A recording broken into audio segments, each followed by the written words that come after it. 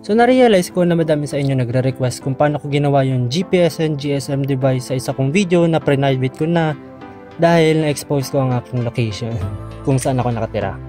Buti na lang din yung masyado napansin. Pero yun nga, di na siya na mapapanood dahil private ko na. So sa video na to, ituturo ko na lang kung paano ko ginawa yung device na yun. Okay, so unang-una, gumamit ako ng GPS module. Ang ginamit ko ay ang Neo 6M V2 Basta hanapin nyo lang yung 5 volts para di na tayo mahirapan mag-convert ng mga voltage. Ang device na to ang kukuha ng GPS data galing sa ating mga GPS satellites. Make sure lang na nasa area kayo kung saan tingin nyo malakas ang GPS signals ng mga satellites kagaya ng nasa mataas na lugar or open na lugar. Malalaman nyo na nakakuha siya ng data pag nakita nyo nagbiblink ang kanyang indication LED. Ngayon na makakakuha na tayo ng GPS data, need naman natin isend ang data na yon. Siyempre, pwede tayo gumamit ng mga radio frequency module katulad ng NRF24 or Bluetooth, pero malilimitahan kayo nun sa mga maliliit na area lang. Kaya naisip ko gumamit ng SIM800L V2, 5 volts ulit to.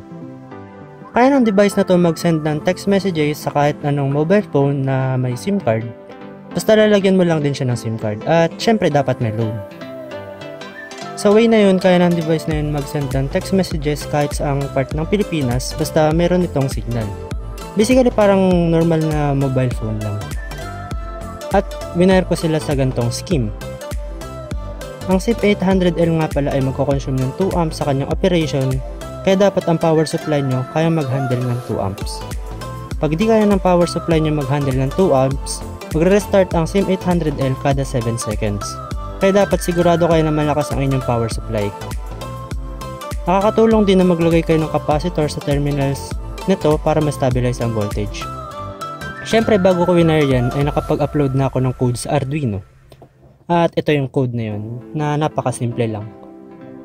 Una, kailangan nyo muna include ang mga library na kailangan para magamit ang mga module natin. Ilalagay ko sa link description ng mga ginamit kong library so i-download nyo na lang. Download nyo lang yung SIM800L at TinyGPS Plus na nasa description.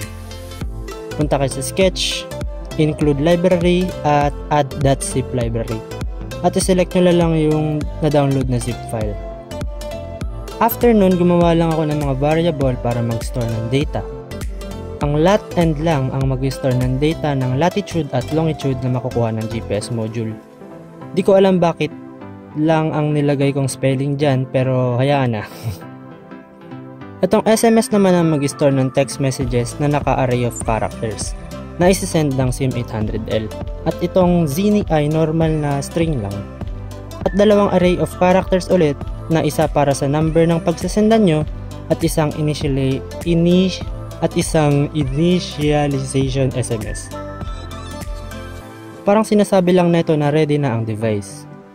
Pag di nyo na-receive ang text na yan, possible na mali kayo ng wiring or walang SIM card yung SIM 800L or nagre-restart yung SIM 800L dahil kulang ang power na nade-deliver ng inyong power supply.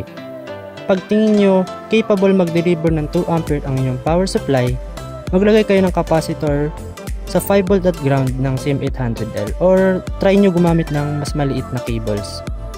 I mean, mas maikse, hindi mas maliit. So proceed tayo sa void setup. Sa setup naman, naglagay ako ng 30 second delay sa simula para magkaroon ng time ang save 800L para mag-initialize. After nun ay nilagay ko ang serial begin na code para magamit ang serial print na function na ginagamit ko lang para mag-troubleshoot. Ilagay nyo rin sa setup ang code na to para ma-delete ang SMS na nakasave sa SIM card at ang line na to na magsisend ng SMS sa number mo na magsasabi na setup complete. Sinasabi lang niya na ready na siya at walang naging problema sa kanyang initialization. At after niya, proceed na ang Arduino sa void loop. Sa unang line ay ang read SMS command na babasahin niya ang pinaka-latest na text message na na-receive niya at ilalagay ito sa text variable na naka-string. Itong line na to magdi-display sa serial monitor kung may text messages ba na na-receive or wala. Magdi-display ito ng negative 1 pag wala. Ngayon pag naka-receive ang SIM800L ng text, magiging hindi ito equal ng negative 1 at i-execute na to ang if statement na to.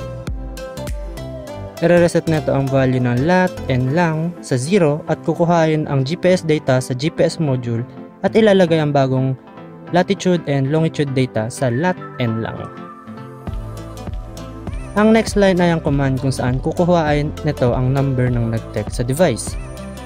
At pagkapares ng number na yon ang number na nilagay mo dito, magsisend ito ng text message na magsasabi ng link ng Google Maps kung saan nakalagay ang latitude and longitude ng device sa number na nilagay mo dito. Kung ibang number na nag-text sa kanya, di lang siya magre-react. Sa ganung way, makakatipid tayo ng load dahil hindi siya basta-basta magsisend ng message pag di naka-register sa Arduino ang number na nag-text sa kanya. At pag clinic nyo yung link na yon, automatic nang dadalhin kayo nun sa Google Maps at maglalagay ng marker sa position na yon.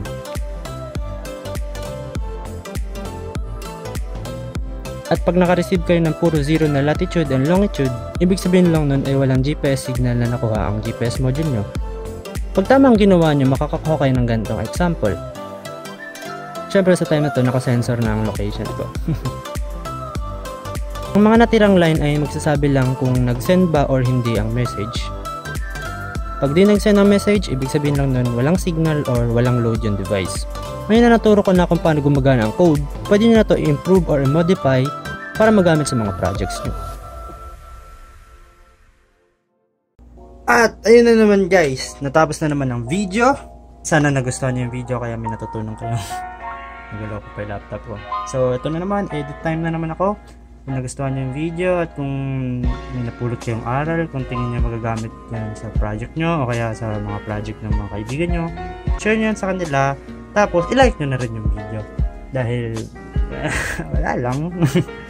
at mag-subscribe na rin kayo sa akin channel para um, masuportahan yung para masuportahan niyo ako um, subscribe na kayo sa channel ko pamamagitan ng pag-click dito at see you ulit sa next video bye bye